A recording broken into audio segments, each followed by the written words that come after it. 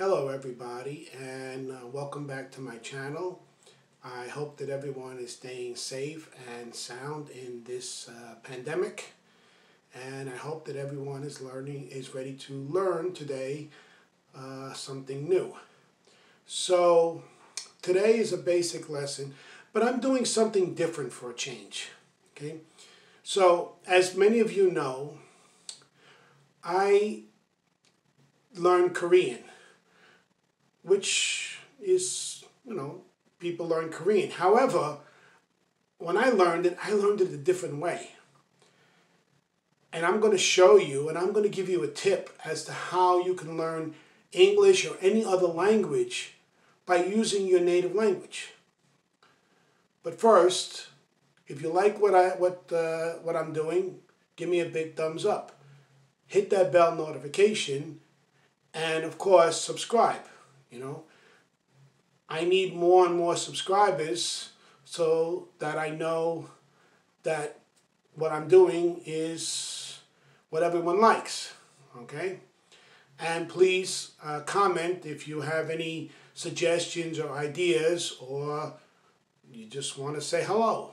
That's up to you. Okay, so what I'm going to do today is I'm going to teach you okay, how to read Korean. Now, some people may say, I don't need to learn Korean. No, you don't need to learn Korean. You can if you want to. The point is, what I'm actually trying to teach you today is how you use your native language to learn another language. Association. Okay? When, when you use association, it helps you to understand stuff. So I'll give you an example. The Korean alphabet is not A B is not the same order as our alphabet. It doesn't start with A B C D E F G. No. They do have the same uh, al alphabet mostly as us. It's just the order is different. So I learned the Korean alphabet not the way that Korean children learn it, but I learned it in association with the American alphabet. And let me show you what I'm talking about. So if you could see the board, the Korean alphabet. So this is A, of course. This symbol means A.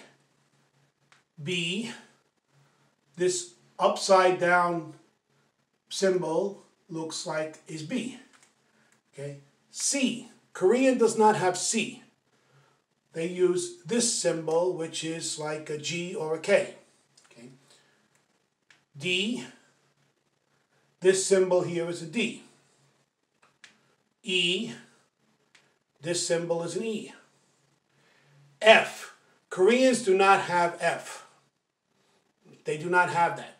So instead they use P. Now, it may be a little difficult because for Fuji apple, they might call it Fuji apple. Okay. G, this is a G. Okay. H. So a man wearing a hat is an H. You see what I mean by word, by association? Okay. I. This is I. J. This is J. K. Now, Sometimes they just use this for K. Sometimes they use this for K. I only put it there so you know you don't get confused. Okay. L looks like a 2. M looks like a square. N looks like a right angle. Okay. O looks like an upside down T. P looks like the pi symbol. See? Association. Q. They do not have Q in the Korean language. So they generally use the K. Okay? R, again, looks like an upside down 2. Okay? S looks like an upside down Y.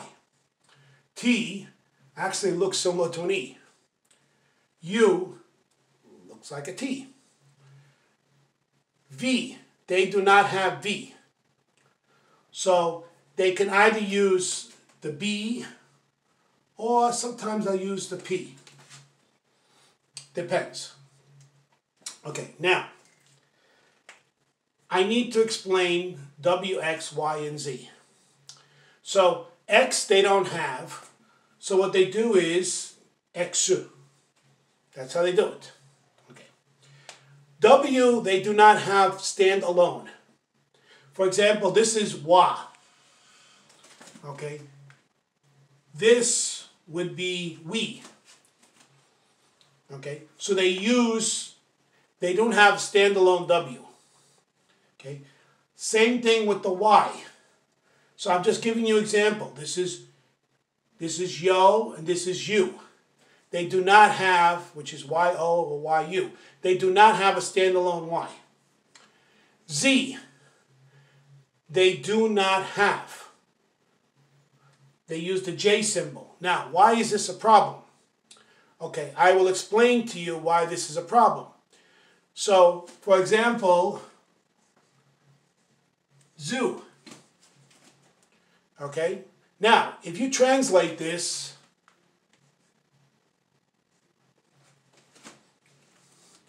they would say Jew instead of zoo. See, that's a problem. Now, remember, I told you I always tried to give you some tips. Okay. Please take a screenshot of this. This is going to help you. Okay? Like I said, my my idea is not to teach you Korean. My idea is to show you how you can use your language with the English language. It'll help you. Now, for me, because I learned this myself. I did this my, myself. And then I went around to different places and I started reading all the signs. Okay? If you can read it, you can learn it faster. Okay? If you know how to associate things, you can associate it, you can learn it faster. For example, let's say you wanted to write cat.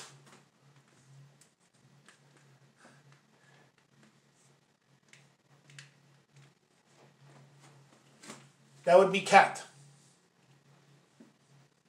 See? That's the C, the A, and the T.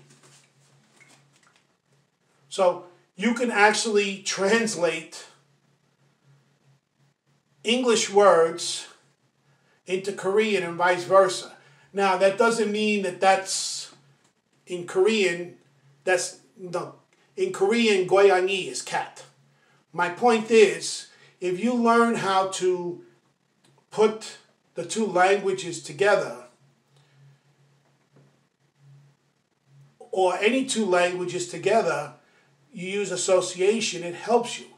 Notice that the C looks like a 7, and the K looks like a 7. And when we use the Q, it looks like a 7, and the G. So, how do you know which one it is? That's the point. The C and the K have the same sound.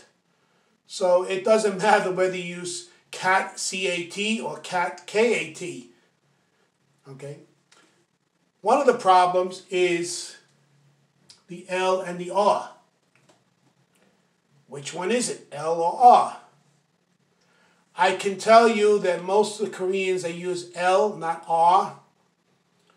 Again, very similar. Also, the vowels are a little different. For example, this is the I for Korean has pronunciation of E. So the pronunciation is different. Okay, I'm not getting into the pronunciation. Oh, and they also have a few more.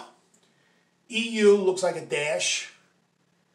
OE looks like a sideways T. Okay. This one is important. NG is an O and CH over here. Now, why is the NG important? Because Korean has to start with a consonant. So for example, okay, if you want to say at, okay, you could do it this way, at. You have to start with this. This is nothing. However, if you want to do it at the end, like gang, at the end it's NG. At the beginning, it's a place marker. Again, my goal here is not necessarily to teach you Korean.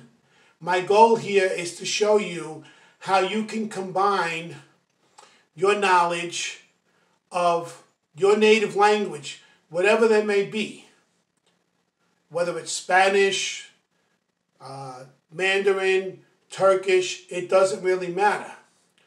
If you can associate things together, you can learn more things. For example, in Korean, I go. Okay? I go. It doesn't mean I go. It means like that. But to remember it, you could you could think of I go. I and go. So, like I said, word association or vowel association, whatever you want to call it, it's still association. It still helps you to learn a second language when you're using your first language as the basis for the second language. Okay. I thank you. Please give me a big thumbs up if you like what you what you see. Please hit that bell notification and please subscribe. You know my goal is to get to 100 subscribers by the end of the month. Okay. Stay tuned till tomorrow because tomorrow we're going to be doing a special lesson about Halloween. I thank you and stay safe.